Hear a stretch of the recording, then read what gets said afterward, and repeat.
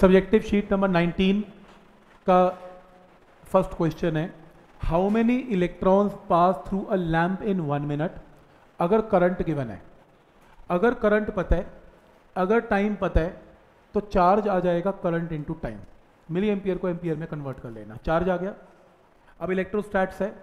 Charge अगर तीन coulomb आ गया तो चार्ज होता क्या है? Q is equal to N E N का मतलब नंबर ऑफ़ इलेक्ट्रॉन्स तो इलेक्ट्रोस्टैट्स का formula Q is equal to N E से एन की वैल्यू कैन बी कैलकुलेटेड कोई डाउट इसमें?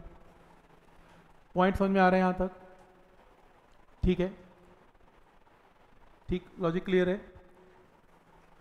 Current 10 ampere is maintained in a conductor तो क्या गिवन है?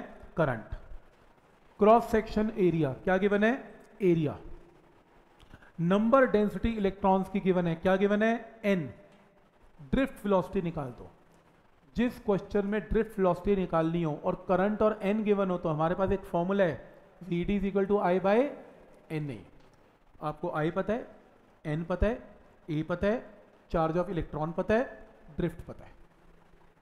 तो पॉइंट समझ में आ रहा है कि कैसे सोचना है इसमें? तो फॉर्मूला क्या यूज़ करेंगे? V D is equal to I by N A ठीक है? तो सारी शीट करनी है। जैसे एक बार बता रहा हूँ कि कैसे करना है इसे। Calculate resistivity of a material resistivity का सिंबल क्या होता है? Rho one metre long point four M M in diameter तो मीटर में कन्वर्ट कर लेंगे। डायमीटर से एरिया कैन बी कैलकुलेटेड तो एरिया पता है लेंथ पता है और रेजिस्टेंस भी पता है। तो मेरे को एक ही फॉर्मूला आता है रेजिस्टेंस और रेजिस्टिविटी का। R is rho L L by A पर मेरे को क्या निकालना है? रो। तो क्रॉस मल्टीप्लाई करके rho is R A by L आपको क्वेश्चन में रेजिस्टेंस पता है एरिया पता है लेंथ पता है रेजिस्टिविटी आ जाएगी। मेथड समझ में आ रहा है कि क्या करना है? तो कौन कौन से फॉर्मूलाज कैसे अप्लाई करने हैं? क्लियर है? ठीक है? एनसीईआरटी के क्वेश्चन नहीं है बेसिकली मतलब ऐसे ऑब्जेक्टिव आते हैं। ठीक है?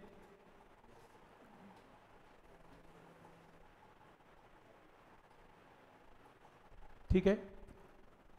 Wire having a mass of आपको क्वेश्चन में मास पता है, आपको क्वेश्चन में रेजिस्टेंस पता है। अगर रेजिस्टिविटी गिवन है यूनिट्स गलत है ओम मीटर आएगा। ओम नहीं है ओम मीटर है। रो गिवन है। तो लेंथ और रेडियस बताओ और डेंसिटी भी बताओ। देखो, बहुत सारी चीज़ें इकट्ठी दे दी उसने। मेरे को एक फॉर्मूला तो पक्का पता है इसमें लगेगा रेजिस्टिविटी का और रेजिस्टेंस का।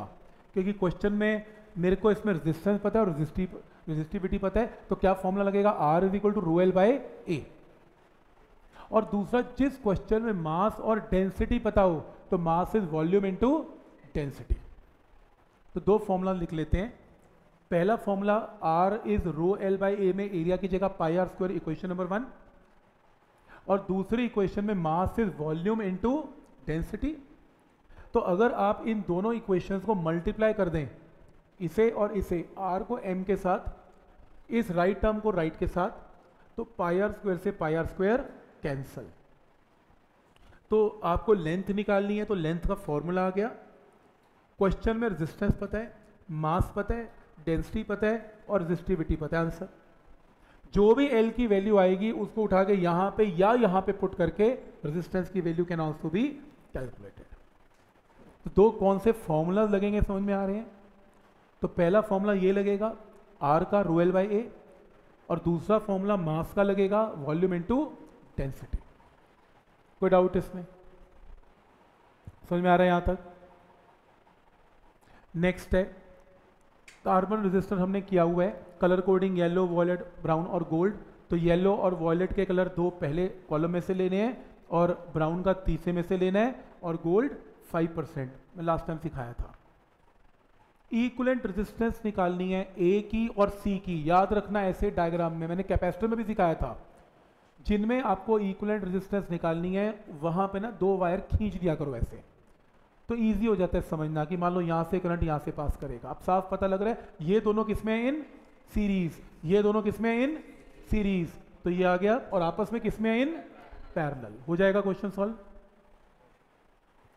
ठीक है यहाँ तक? जैसे ये क्वेश्चन है। आपको ए और बी में इक्वलेंट रेजिस्टेंस निकालनी है तो दो वायर अपने हाथ से पहले ए और बी में से निकाल लो। तो शुरू करें। इसके अंदर थ्री एंड थ्री किसमें इन सीरीज़ जो आंसर आएगा सिक्स के साथ इन। तो बोलो थ्री और थ्री सीरीज़ में कितना आएगा? सिक्स सिक्स और सिक्स पैरेलल में कितना? थ्री थ्री और थ्री सीरीज़ में सिक्स सिक्स और सिक्स पैरेलल में थ्री थ्री और थ्री सीरीज़ में सिक्स और सिक्स पैरेलल में, थ्री और थ्री सीरीज़ में, सिक्स और थ्री पैरेलल में, सिक्स और थ्री पैरेलल में, one by R is one by six plus one by three two आएगा। समझ में आ रहा है यहाँ तक क्या करना है? फ्लो में थ्री नहीं लिख देना। ठीक है यहाँ तक? जैसे, आपको इसमें यह बताना है, इस डायग्राम में ये तीन रेजिस्टेंसेज हैं इंटरनल रेजिस्टेंस नहीं है। आपको बताना है कि बैटरी में से कितना करंट बाहर निकला। सबसे पहले ये दो रेजिस्टेंस किसमें कनेक्टेड है? इन सीरीज़ तो कितना आएगा? 60 और नीचे क्या है? 30 दो वोल्ट की बैटरी है। ये दोनों किसमें कनेक्टेड है? पैरेलल तो कितना आएगा? 20 R1 R2 R1 plus R2 20 फिर टोटल करंट क्या आएगा? 2 divided by 20 point one ampere is the answer तो समझ में आ रहा है कि क्या लॉजिक है इसमें? कोई डाउट इसमें? जैसे ये पूरा डायग्राम है। क्वेश्चन में ये निकालना है 12 ओम के अंदर कितना करंट है? सबसे पहले ये सब किसमें कनेक्टेड है? 12 12 12 12 इन पैरेलल तो एक one by R is one by बारह वन बाई बारह वन बाई बारह वन बाई बारह. तो तीन आएगा। फिर इसकी जगह भी तीन, इसकी जगह भी तीन. क्लियर है? तो टोटल करंट क्या आएगा? टोटल करंट आएगा nine divided by three plus three plus three nine तो टोटल बैटरी का करंट एक एम्पियर है। अब जब एक एम्पियर करंट आएगा, वो चार ब्रांचेज में डिवाइड होगा और सबकी रेजिस्टेंस की वैल्यू सेम है तो इक्वल डिवाइड हो जाएगा। One by four one by four one by four and one by four is the answer तो आइडिया समझ में आ रहा है कि कैसे है इसमें? ठीक है पूरी असाइनमेंट करनी है। इस क्वेश्चन के अंदर क्या गिवन है? कि आपको एक बैटरी गिवन है, जिसमें इंटरनल रेजिस्टेंस भी गिवन है और एक्सटर्नल रेजिस्टेंस भी गिवन है। लेकिन हो सकता है वो आपको डायग्राम ना बना के दे। डायग्राम की जगह वो ये दे कि मेरे पास एक वायर है, जिसकी एक सेंटीमीटर की रेजिस्टेंस एक ओम है। और मैं एक ए अल्फ़ाबेट बनाने जा रहा हूँ। ये ए अल्फ़ाबेट है। इस अल्फ़ाबेट की जो लेंथ है, वो 20 सेंटीमीटर लॉन्ग है। तो अगर ये 20 सेंटीमीटर लंबी है, एक सेंटीमीटर की रेजिस्टेंस एक ओम है तो 20 सेंटीमीटर के कितने ओम है? 20 ओम है। तो ये भी 20 है, ये भी 20 है। तो अगर ये 20 है और एक और वायर ली 10 सेंटीमीटर की जो मिडल में लगा दी अल्फ़ाबेट के। मिडल का मतलब अगर ये 20 सेंटीमीटर है तो ये 10 और 10 है। तो ये 10 ओम है 10 ओम है 10 ओम है 10 ओम है और ये 10 सेंटीमीटर लंबी है तो ये भी 10 ओम है।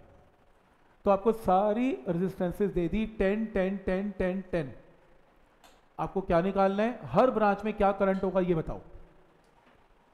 सबसे पहले 10 और 10 किसमें इन सीरीज़ 20 ये 10 का 10 ये वाली लेग 10 ये 10 10 और 10 और ये बैटरी जिसकी ईएमएफ e 15 और ये ना करेक्शन है यहाँ पर 3.33 है. ये 3.33 है यहाँ पे, ऐसे है. तो डायग्राम क्लियर है? ऊपर की दो रेजिस्टेंसेस किसमें लगा दी हमने इन सीरीज़ आगे चलते हैं. ये दोनों किसमें कनेक्टेड है इन? पैरेलल 20 बाई थ्री तो टोटल करंट क्या होगा सर्किट का? Total EMF 15 divided by denominator में क्या आता है? Sum of external and internal resistance external resistance क्या है? 10 plus twenty by three plus ten और इंटरनल क्या है? थ्री पॉइंट थ्री थ्री ये देखो 15 divided by external and internal resistance तो एक्सटर्नल में ये तीनों को ऐड कर दिया। सीरीज़ में इंटरनल 3.3 थी करंट आ गया 0.5 फाइव एम्पियर तो क्या ये रूल क्लियर है? तो करंट निकाल लोगे। कोई डाउट इसमें? अब लास्ट स्टेप है, करंट 0.5 आ गया तो चलो एक आंसर आ गया 0.5 इसका करंट भी क्या आ जाएगा? 0.5 वो क्यों? बैटरी का एक रूल है। जितना करंट बैटरी से बाहर निकलेगा, घूम फिर के वापस भी उतना ही आना चाहिए। तो अगर ये 0.5 है तो 0.5 आंसर आ गया। दो में करंट आ गया। अब हमने इन दोनों में करंट निकालना है। इसको ध्यान से देख लेना। अब ये 0.5 एम्पियर का करंट इसमें और इसमें डिवाइड होगा। तो मान लो ऊपर वाली वायर में करंट गया I2 और नीचे वाली वायर में करंट गया I1 यही निकालना है I1 I2 तो मैंने डायग्राम अलग बना लिया इसका। तो 0.5 फाइव एम्पियर को बांट दें I1 I2 में। ये दोनों पैरेलल में है। तो V की वैल्यू विल रिमेन सेम तो इसमें V क्या होगा? 20 इंटू आई इसमें V क्या होगा? 10 इंटू आई यहाँ से I1 I2 की रेशियो आ गई। अब टोटल करंट कितने point five ampere point five ampere में I1 क्या होगा? I1 होगा 2 divided by two plus one into point five और I2 क्या होगा? 1 divided by one plus two into point five answer आ गया। I1 I2 भी आ गया।